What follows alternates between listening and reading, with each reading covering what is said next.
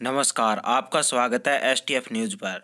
दोस्तों, नागरिकता संशोधन बिल को लेकर देश के विभिन्न हिस्सों के अंदर हो रहे भारी विरोध प्रदर्शन के बीच में कुछ लोगों से वो राय ली गई और उनसे जाना गया कि वो प्रदर्शन वो क्यों कर रहे हैं। तो उन्होंने कहा कि मोदी सरकार और अमित शाह है, वो हमारी नागरिकता के ऊपर वो सवाल उठा रहे हैं।